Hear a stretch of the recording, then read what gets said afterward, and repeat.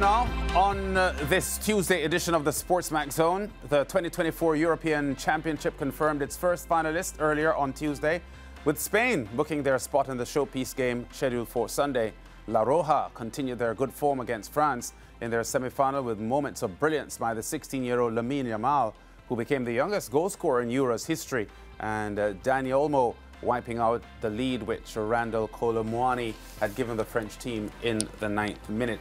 The 2-1 win fired Spain into their fifth European Championship final and gives them a chance to win their fourth title and uh, outright be the most successful team in the competition's history. Now, Spain will either face the Netherlands or England, who will battle each other in the other semi-final on Wednesday.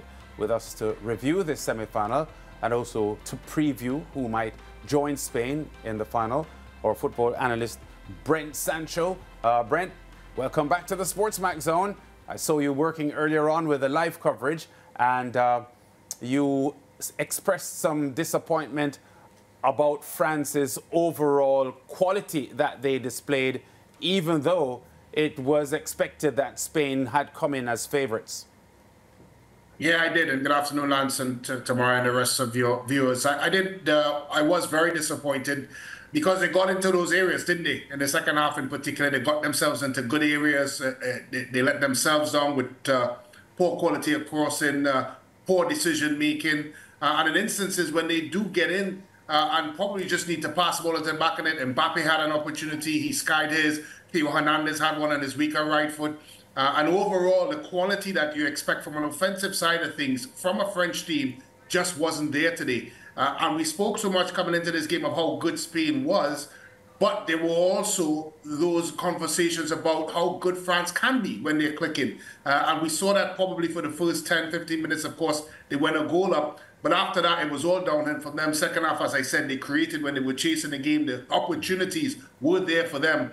But I just saw that that quality that you would expect from a French team just wasn't there today. Yeah, and I, I remember when I watched the Spain Germany match, it was such a high quality game that I felt while watching the game that the winner of that match would go on probably to win to, to win Euro. Mariah spoke at the top of the show about Spain's quality and the fact that it has so much to do with, with the young talent shining. Um, a real good look this for Spain in the, uh, from a future standpoint about what they may offer in the years to come.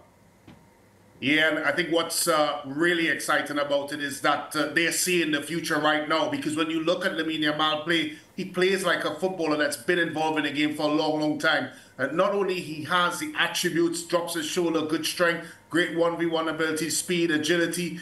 He also has an unbelievable calm on the football, uh, an unbelievable uh, ability to make the right decisions. Very rarely you see him make wrong decisions on the pitch. Uh, and you add that to Nico Williams on the other side, who is there and thereabouts as to what Lamine Yamal can do. You just think to yourself, yes, the future looks bright.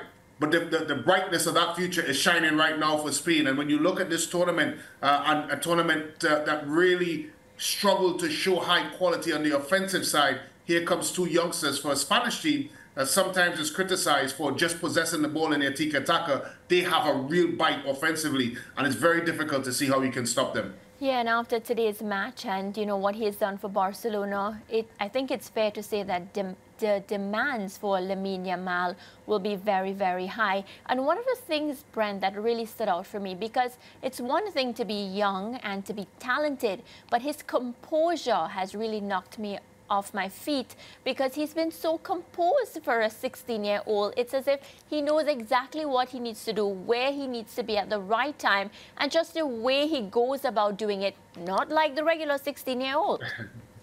Certainly not like the regular 16 year olds. And, and for our viewers here in the Caribbean, Lamine Yamal would have, if he lived here in Trinidad, he would probably be going to Naparima College or Pres or maybe Fatima. Wow, uh, thank you. Probably, uh, he'd probably be playing schoolboy football, but uh, that just tells you uh, the level and, of course, the expectation. You're right, there is going to be a high demand. He is a, a star player for Barcelona currently, and he is certainly leading the Spanish team. And in this goal here, he had one thing in his mind, and that was putting that ball in that area. I don't think there's many in world football can do it. He did have two or three defenders in presence with him, but he had the composure.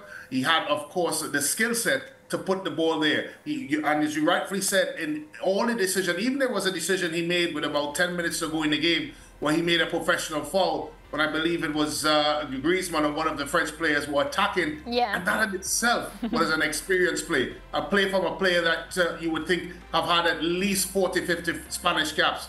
And uh, when you look at uh, what he is going to bring, possibly, of course, now being 17 years old when he goes into the finals, it is a scary, scary thought for both the English and the Dutch. Yeah, and I think it's only fitting that we juxtapose Lamine Yamal against Kylian Mbappe, a man who also made his name at a very, very young age. You know, now he's a bit older when we compare him to players like Lamine Yamal, but today Kylian Mbappe got the opportunity. But I felt like he lacked that magic. He lacked that magic when it mattered the most. What say you, Brent? Yeah, it was a tough tournament uh, for Mbappe, and I don't think it necessarily is fair uh, to label him uh, as uh, a failure uh, after this tournament. I think he just had a poor tournament. I may point back to that, uh, of course, broken nose or fractured nose that he had.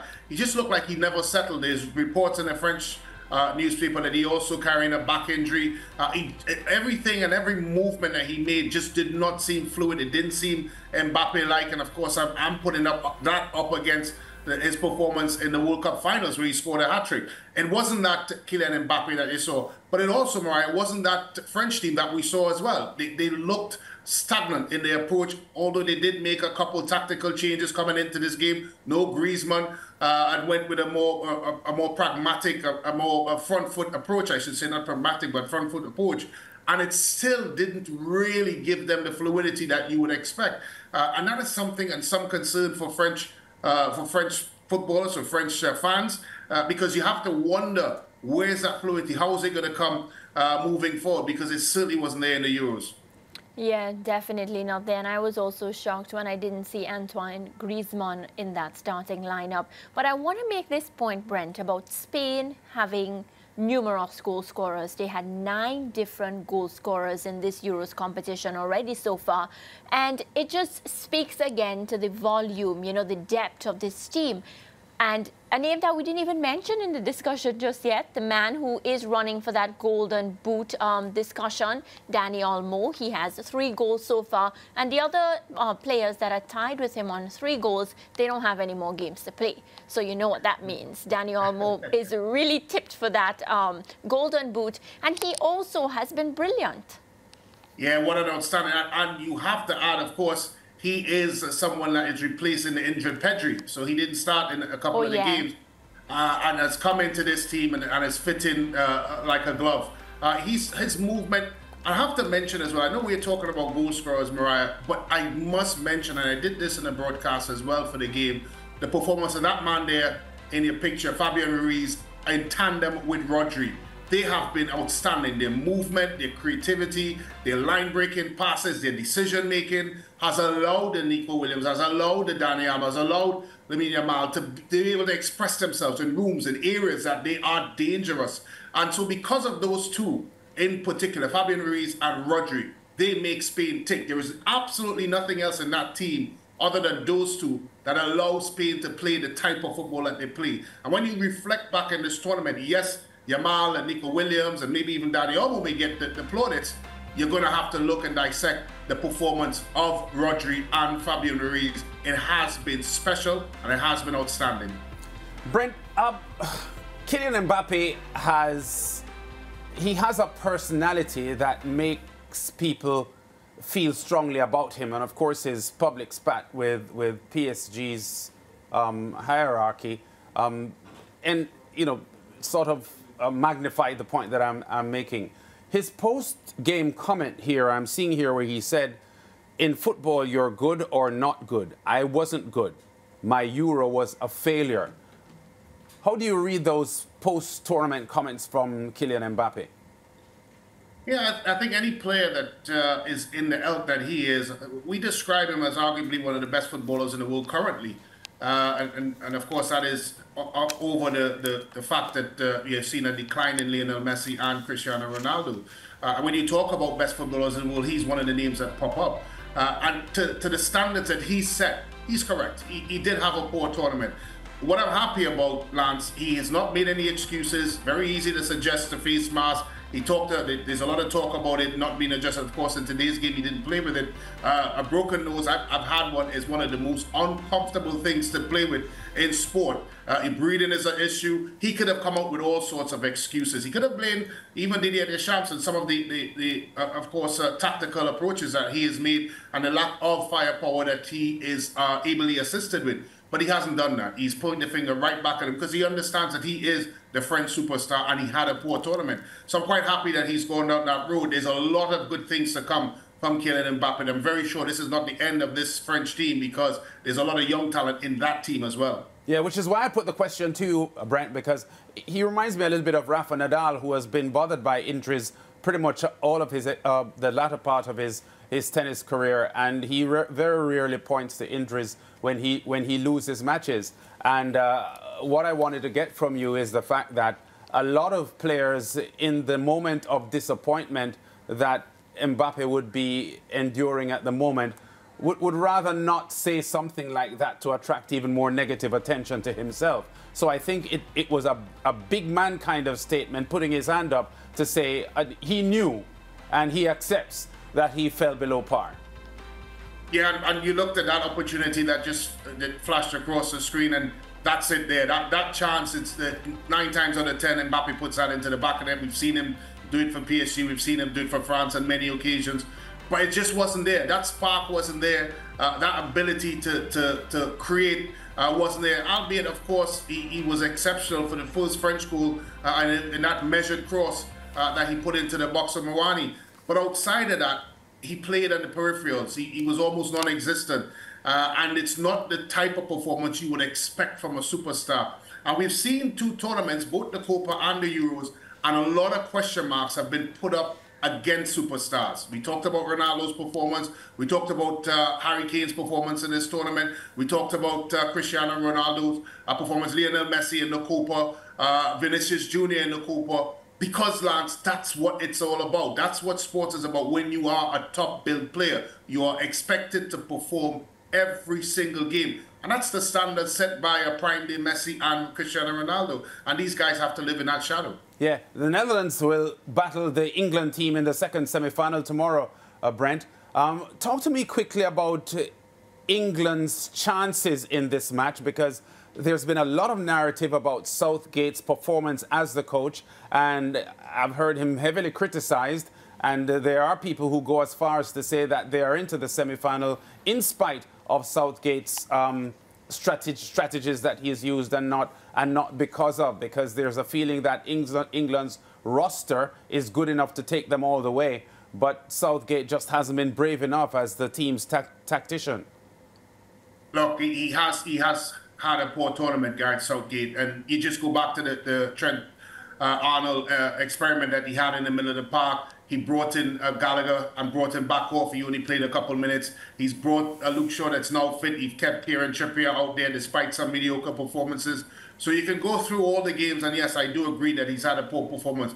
But many would say to you, in sports, he's still in there. He's still in with a puncher's chance. He's in a semi-final tomorrow. There's absolutely nothing uh, that would suggest that England can't go all the way.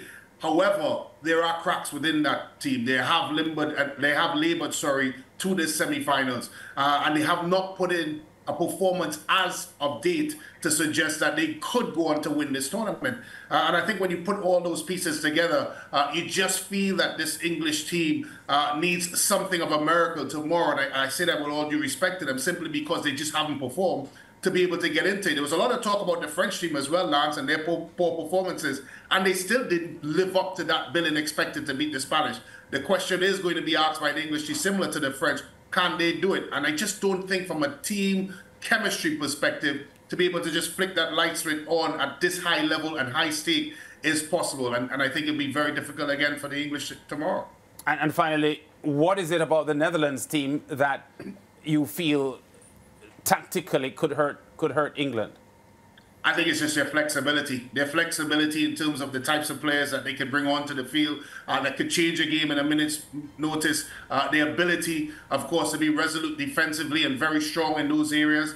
uh, and, and, the ability to grind out results. I, I, do think Koeman, from a coaching perspective, as we on that topic, has had a good tournament so far, and I can see him tactically adjusting uh, in a way that could give Holland the impetus to go on and win that game. And uh, I just feel that within all of the Dutch squad, there's enough in there to beat uh, an England squad. All right, Brent, thanks, man. We'll watch how that one pans out. The second semi-final, Spain already getting through today, defeating neighbours France, and through to the final uh, tomorrow. At this time, we'll know who their opponents will be in the final. Thanks, Brent.